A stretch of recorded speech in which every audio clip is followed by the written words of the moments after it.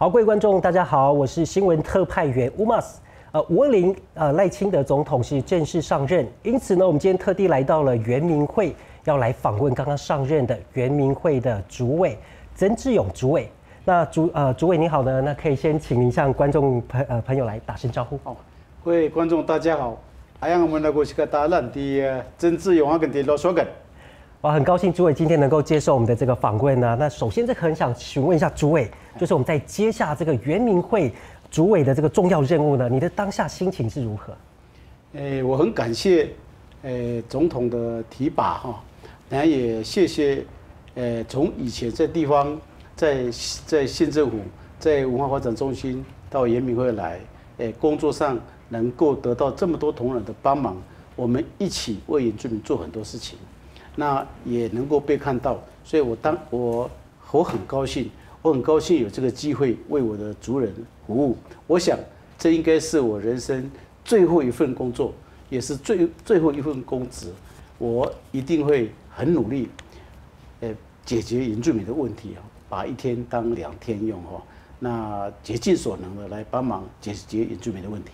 好，谢谢诸位的分享。那今天就是很真的很希望让啊大家可以更深入的来认识我们新任的啊主委啊曾志勇主委。那我们知道曾主委呢是来自屏东三地门乡的这个口社村的台湾族人，那也是我们这个圆明会首任主委画家之之后呢啊第位第二位担任圆明会主委的台湾族人。那这边就很想请主委来分享一下，就是啊你自己在部落成长的经验，或者是部落的生活文化。是，我。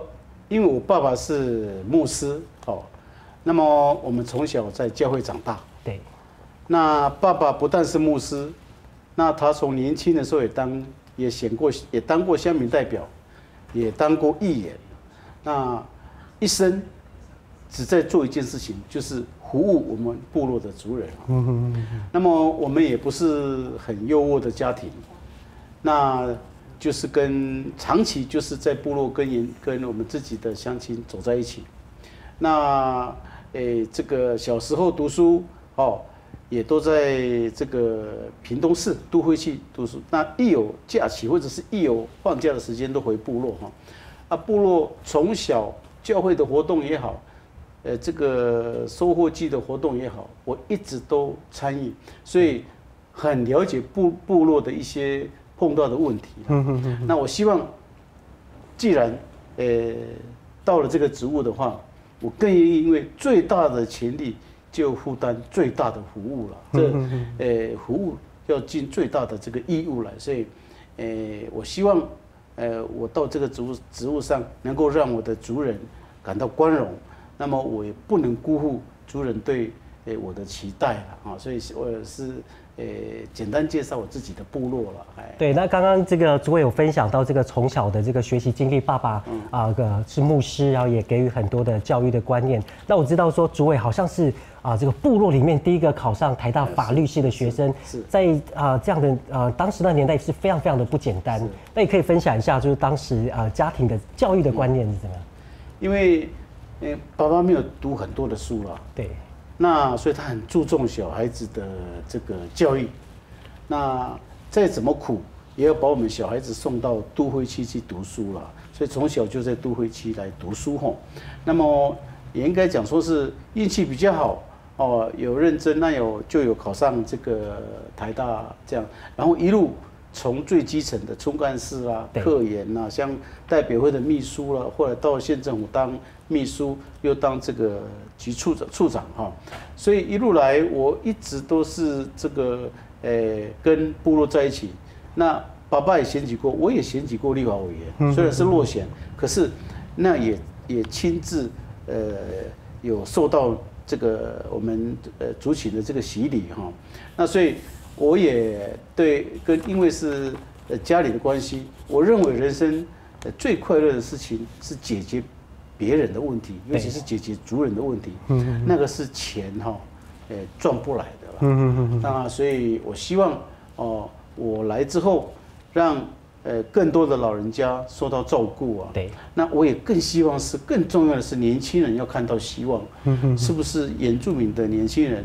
我们本会会里面到底有什么可以再帮帮忙年轻人，让他们看到希望。年轻人有希望，我们整个整个族群才会有未来啦。对就是这样。哎，那从刚主委的这个分享呢，有提到就是主委有在啊这个地方中央的行政经历是非常的丰富的，包括是在啊屏东县的原民处处长担任了十六年，那还有在这个原住民族文化发展中心担任这个主任。那这边想请教就是啊主委，就是你觉得在这些啊行政的历练当中，带给你最大的这个能力或者是特质，有没有什么值得跟大家分享的？我想最大的就是说，我，呃，因为在县政府当了十六年的处长，对，我很能体会议员，也就是民意代表他们的心情哈。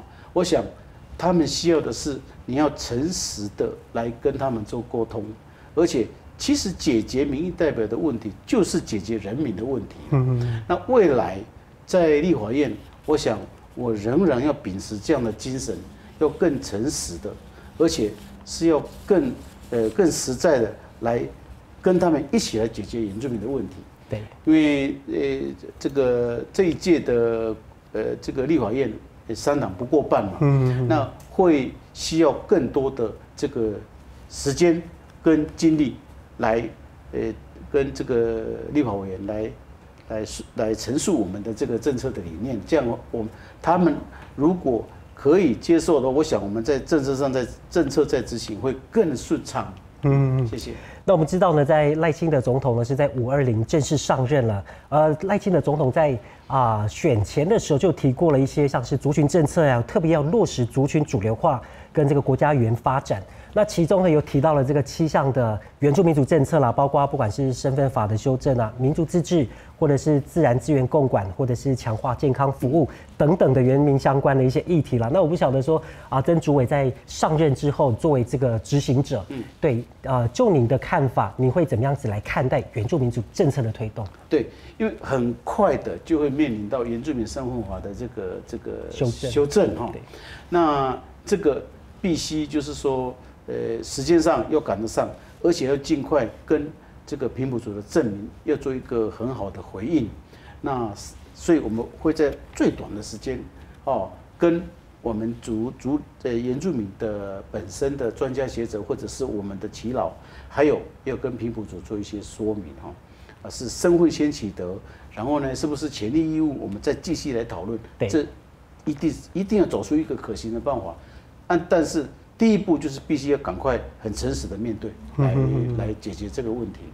那至于都演的一些主流化的一些影响，因为我因为呃整个原住民来讲，几乎百分之六十都在都会区。对，不管它有没有设计，有没有户籍，所以绝大部分的这个这个心力哈，还有本会应该要挹注更多的这个预算，让在都会区的我们的族人受到更好的照顾。比如讲他们的文件站是不是要更更多的挹挹注，还有他们的集会所，还有一些这个年轻人的一些这个未来有没有需要协助帮忙的，我们一定要能够来协助帮忙。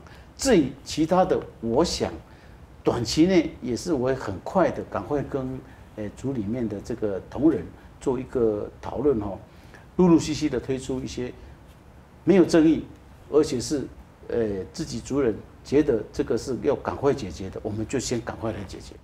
好，那今天呢，非常感谢曾志勇主委的呃接受我们原始特派员的专访。那接着呢，我们要把镜头交还给棚内主播。